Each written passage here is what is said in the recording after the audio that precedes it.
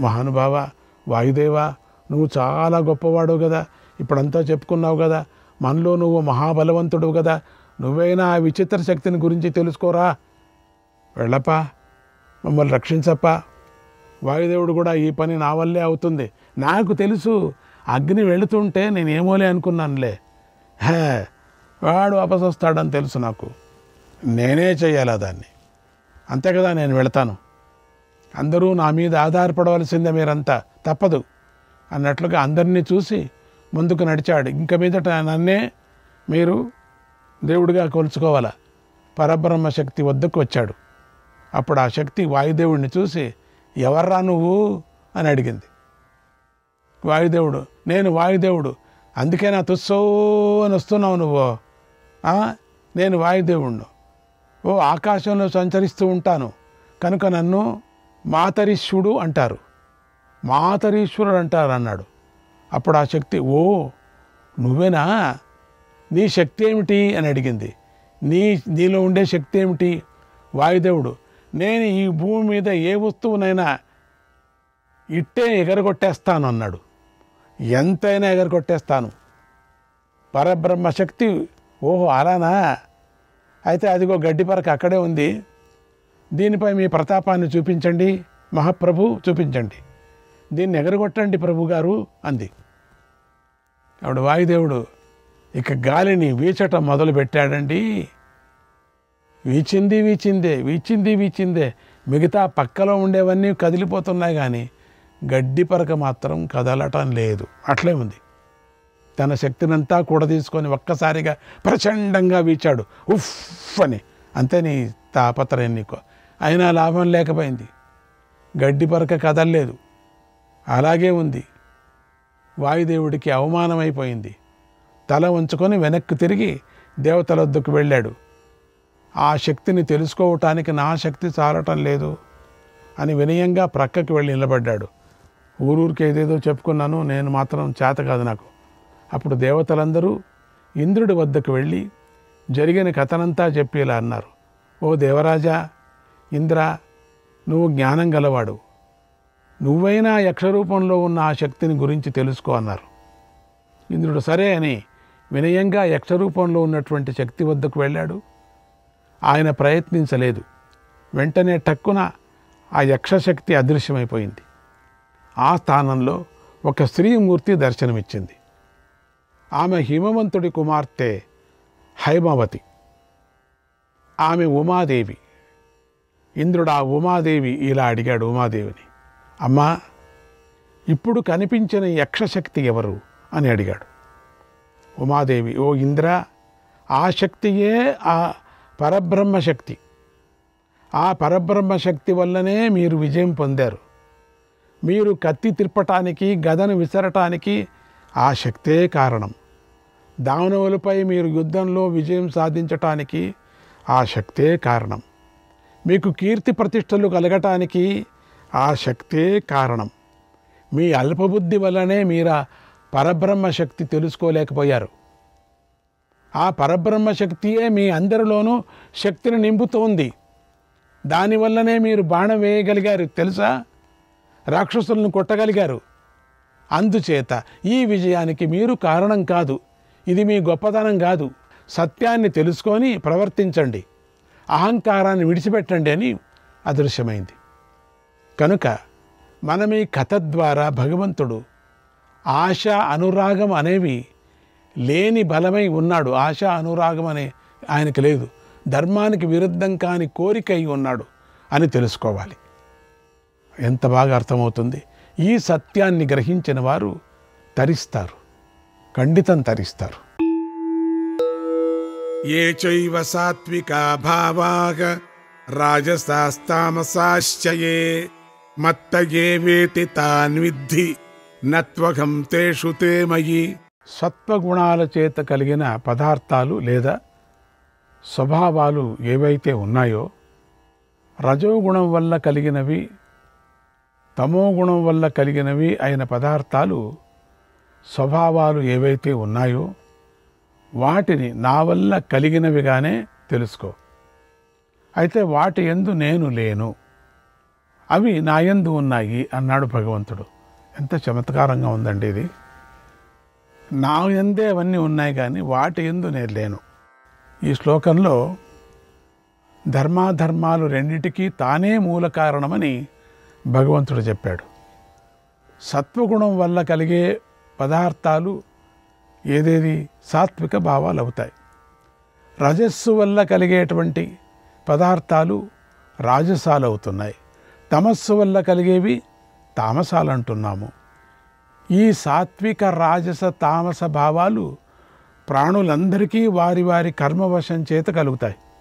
అలా కలిగే భావాలన్నీ భగవంతుడి వల్లే కలుగుతున్నాయని తెలుసుకోవాలి. అంతటితో సరిపోదు. ఆ భావాల భగవంతుడి వల్ల కలిగినప్పటికీ భగవంతుడు వాటి ఎందు లేడు. అంటే సంసారాలు లాగా భగవంతుడు వాటి వశంలో ఆధీనంలో ఉంటాడు. సంసారుల్లాగా వాడు వశంలో ఉంటున్నాడు. భగవంతుడు వాటి వశంలో ఆధీనంలో ఉండడు ఎప్పటికీ ఉండడు. తనలో ఉంటున్నాయి కానీ అంతే ఉండడు. వాళ్ళందరినీ అట్లా పెట్టేశాడు అది కానీ అవి భగవంతుడి వశంలో ఆధీనంలో ఉంటాయని తెలుసుకోవాలి. తన ఆధీనంలో ఉన్నాయి కానీ అవి చెప్పినట్టు ఈయన వినడు. ఇవి చెప్పినట్టే వినాల. దానినే భగవంతుడు ఇక్కడ చెప్పాడు. అటువంటి పరమాత్మను జీవులు ఎందుకు తెలుసుకోలేకపోతున్నారో? నిత్య శుద్ధ బుద్ధ ముక్త స్వభావుడు సర్వభూతాలలో ఆత్మగా ఉన్నవాడు నిర్గుణుడు సంసార దోష బీజాన్నే కాల్చివేసేవాడు పరమేశ్వరుడనైన నన్ను భగవంతుణ్ణి లోకం తెలుసుకోలేకపోతుంది అని భగవంతుడు బాధపడుతూ లోకుల ఆ అజ్ఞానానికి కారణం చెబుతున్నాడు ఇక్కడ. త్రిభిర్గుణమయైర్భావై జగత్ మోహితం నాభిజానాతి మామేభ్యః పరమవ్యయం. ఇప్పుడు చెప్పబడిన మూడు విధాలైన గుణాల యొక్క వికారాలైన పదార్థాల చేత ఈ ప్రపంచమంతా భ్రాంతిని పొందింపబడినదై ఉంది. ఈ త్రిగుణాల కంటే అతీతుడైనట్టి నాశరహితుడైనట్టి పరమేశ్వరుడనైన నన్ను తెలుసుకోలేకపోతూ ఉన్నది. అన్నాడు భగవంతుడు. పన్నెండవ శ్లోకంలో భగవంతుడు త్రిగుణాల గురించి చెప్పాడు. ఆ మూడు గుణాల యొక్క వికారాల చేత అంటే రాగము ద్వేషము మోహము మొదలైన పలు విధాలైన పదార్థాల చేత సమస్త ప్రాణికోటి సమస్త జీవ సమూహము మోహం చెందుతుంది. అంటే వివేకం కోల్పోతుంది అని అర్థం ఇక్కడ. కనుక ఈ గుణాలకు వ్యతిరేకంగా విలక్షణంగా ఉన్న నన్ను జన్మ మొదలైన సమస్త భావ వికారాలు లేనివాడిగాను అవ్యయుడిగాను లోకం తెలుసుకోలేకపోతుంది అన్నాడు భగవంతుడు. ఇంతకన్నా మనకి ఇంకా చొరక ఏముందండి? చెప్పండి. మోహ ఏవ మహామృత్యు. మోహ ఏవ మహామృత్యు. ముముక్షోర్ వపురాదిషు. ముముక్షోర్వపురాదిషు మోహో వినిర్జితో ఏన మోహో వినిర్జితో ఏన సముక్తి పదమర్హతి. సముక్తి పదమర్హతి మోక్షం కావాలి అనుకునేవాడికి దేహము మొదలైన వాటి ఎందు నేను అనే భావమే మహామృత్యువై ఉంది. ఎవడు ఈ మోహాన్ని జయిస్తాడో వాడే పరమ పదవిని పొందటంలో అర్హుడై ఉన్నాడని వివేక చూడమని చెప్పింది. నమాం విందతి పాపీయాన్ మాయా మోహిత చేతన. మాయామోహిత చేతనగ త్రివికారా మోహయతి. ప్రకృతిర్మే జగత్రయం ప్రకృతిర్మే జగత్రయం. మాయ చేత మోగింపజేయబడిన వాడు పాపాలు చేస్తాడు. అటువంటి పాపి నన్ను పొందలేడు. పాపాలు చేసుకునే వస్తున్నాడు కానీ పై పైకి మాత్రం ఏదో నేను పుణ్యాలు చేస్తున్నానని చెప్పి అది దేవాలయానికి వెళ్ళి నమస్కారాలు చేయటం ఏదో వ్రతాలు చేయటం. కానీ పాపమే ముఖ్యమైనటువంటి ఒక విచారంగా పెట్టుకో ఉన్నాడు అంతే. అది నేనేం పాపం చేయటం ఇవన్నీ చేసుకొని వస్తున్నాడు. గట్టిగానే చేయాలి పరమాత్ముడిని భజించాల పాపమే చేయకూడదు. అటువంటి వాడు నన్ను పొందలేడు. సాత్విక రాజస తామస వికారాలతో కూడిన నా మాయ మూడు లోకాలను మోకింపబెడుతుందని గణేశ్వరుడు చెప్పాడు గణేష్ గీతలో. త్రిగుణాత్మకమైన ఈ దివ్య వైష్ణవ మాయను ఏ విధంగా దాటవచ్చు? అంటే భగవంతుడు ఉపాయం చెబుతున్నాడు. దైవీ శేషా గుణమయీ మమ మాయా దురత్యయ మామే వయే ప్రపద్యంతే మాయామేతాంతరంతి తే ఇప్పుడు చెప్పబడిన దైవ సంబంధమైనది త్రిగుణాత్మకమైనది అయిన నా యొక్క మాయాశక్తి దాటడానికి కష్టసాధ్యమైనది కదా. అందువల్ల ఎవరైతే నన్నే శరణు పొందుతున్నారో వారు ఈ మాయను దాటగలుగుతున్నారు. అన్నాడు భగవంతుడు పూర్ణంగా. స్వామినే శరణు పొందాల. సాత్వికంతో ఉండాల. ఉపవాసం ఉన్నప్పటికి కూడా పర్వాలేదు. ఇంకొకరిని ఏడిపించుకోకుండా ఇంకొకరికి ద్రోహం చేయకుండా ఉండినప్పుడు మాత్రమే భగవంతుడు కరుణిస్తాడు. ఈశ్వరుడు విష్ణువు అయినటువంటి భగవంతుడి యొక్క స్వభావ రూపము మరియు త్రిగుణాత్మకమైనటువంటి మాయను దాటడం చాలా కష్టం అన్నాడు భగవంతుడు.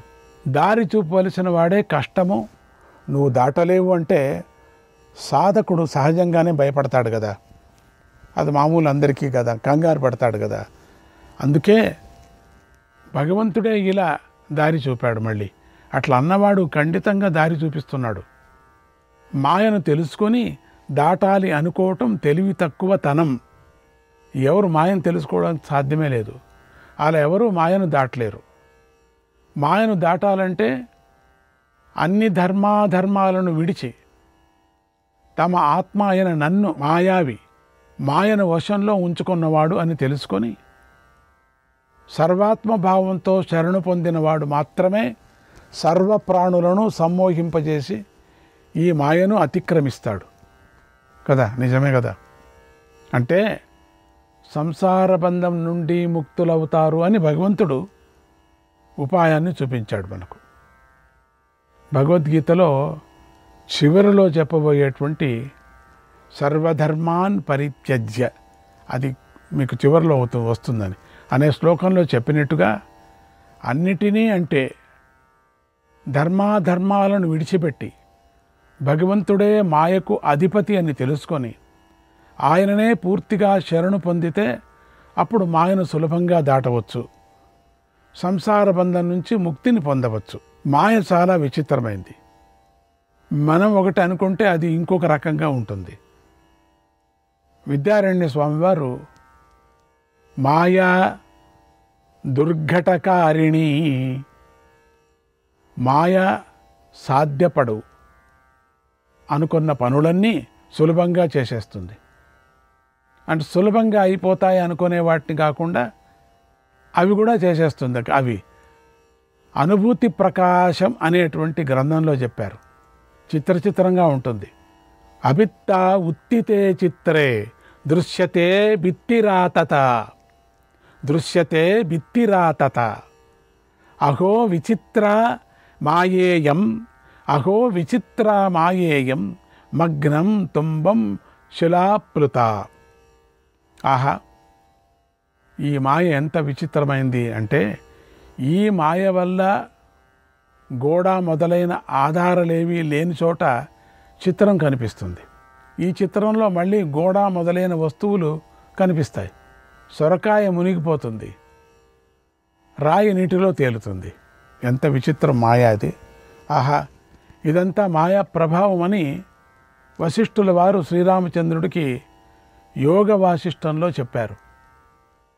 గోడ లేనటువంటి దగ్గర చిత్రం కనపడుతుంది. చిత్రం ఉండినటువంటి దగ్గర గోడ కనపడుతుంది. ఎంత చిత్రంగా ఉంది. భగవంతుడిని పట్టుకుంటే మాయను దాటవచ్చు కానీ మాయ దాటుతానని వెళ్ళకూడదు. దీనికి మత్స్యావతారమే మంచి నిదర్శనం. సప్తఋషులు మాయాతీతుడైనటువంటి మత్స్యమూర్తిని ఆశ్రయించారు. సత్యవ్రత మహారాజు కూడా ఆయననే ఆశ్రయించాడు. అప్పుడు కాళరాత్రి సమయంలో తనను ఆశ్రయించిన వారిని మత్స్యమూర్తి రక్షించాడు. ఆ సమయంలో మాయాతీతుడైనటువంటి ఆ భగవంతుడు మన కోసం సృష్టికి అవసరమయ్యే ఔషధులను రక్షించాడు. వాటిని సత్యవ్రత మహారాజు చేత నావలో పెట్టించాడు.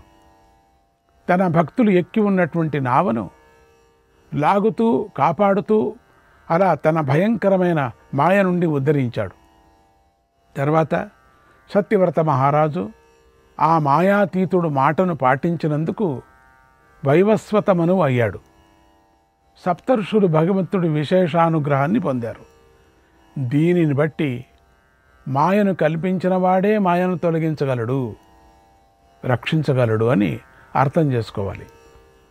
పరమాత్మపై నిశ్చలమైనటువంటి భక్తి ఉండాలి. అప్పుడే మార్కండేయులాగా మాయను దర్శించవచ్చు. మార్కండేయుడు దర్శించినట్టుగా సత్యవ్రతుడిలాగా మాయను దర్శించవచ్చు. భగవంతుడి అనుగ్రహంతో మాయ నుండి ఖండితంగా బయటపడవచ్చు. ఈ సందర్భంలో మాయాతీతుడైనటువంటి కృష్ణ పరమాత్మకు సంబంధించిన ఒక కథను తెలుసుకుందాం. శ్రీకృష్ణ పరమాత్మ యొక్క తత్వము ఎవరికీ అర్థం కాదు. భాగవతం మీరు వింటూ ఉంటే అప్పుడు మీకు అర్థమవుతుంది. ఆయనే మదన మోహనుడు పూర్ణమాయ స్వరూపుడు. కనుకనే స్వామి యొక్క ప్రతి లీలకు ఒక అర్థం ఉంది. అంతరార్థం ఉంది. గూఢతత్వం దాగి ఉంది. కనుక దానిని తెలుసుకోవటం చాలా కష్టం. కృష్ణతత్వాన్ని స్థూలంగా చూసి అంటే పై పైన చూసి టక్కున మాట్లాడేయకూడదు. అది చూసారా? కష్టమని. నల్లది చీకటి. మాట్లాడేయకూడదు. అలా మాట్లాడితే ప్రమాదం సంభవిస్తుంది. అపార్థాలు కలుగుతాయి. కనుక సూక్ష్మంగా పరిశీలించి కారణాలు తెలుసుకొని మాట్లాడాలి చెప్పాలి. పూర్తిగా కారణాలు తెలుసుకోవాలి? దెబ్బని చెప్పకూడదు. కృష్ణుడి కాలంలోనే ఆయన మాయ గోపికలకు తెలియలేదు. రుక్మిణి సత్యభామలకు కూడా తెలియలేదు. ఎవరికీ తెలియలేదు. వాళ్ళ అమ్మకే తెలియలేదే తల్లికి యశోదమ్మకే తెలియలేదే. ఆయనతో కలిసి తిరుగాడుతున్న వారికి తెలియలేదు. శ్రీకృష్ణ పరమాత్మ కొండ చిలువైనటువంటి అఘాసురుణ్ణి ఐదవ సంవత్సరంలో వధించాడు. ఆ విషయాన్ని గోపాలురు తమ వారికి ఆరవ సంవత్సరంలో చెప్పారు. మరి ఈ మధ్యలో ఏం జరిగింది? ఒక సంవత్సరం ఎక్కడో ఎగిరిపోయింది. అంటే ఈ సమయంలో కృష్ణమాయ ప్రసరించి నడిపించింది. మాయలో అందరూ పడిపోయారు ఒక సంవత్సరం పూర్తిగా. మీరు భాగవతం వింటే తెలుస్తుంది ఏం జరిగిందని. ఈ మాయను అన్నగారైనటువంటి బలరాముడే సంవత్సరం పూర్తి అవుతున్న సమయంలో తెలుసుకున్నాడు. ఆయనకే తెలియదు ఇంకేమైపోతుందన్నప్పుడు తెలుసుకున్నాడు. ఓహో ఇది ఒక సంవత్సరం మాయలో ఉండిపోయాం మనమంతాని. సృష్టికర్త అయినటువంటి బ్రహ్మదేవుడైతే మోక్షితుడైపోయాడు. మాయను తెలుసుకునేటప్పటికీ ఆయనకు చాలా రోజులు పట్టాయి. ఆయన చేసిన పని ఇది. అప్పుడు తెలివి తెచ్చుకొని పరమాత్మ అనుగ్రహంతో మాయ నుంచి బయటపడ్డాడు. శ్రీకృష్ణాయ పరమాత్మనే నమ.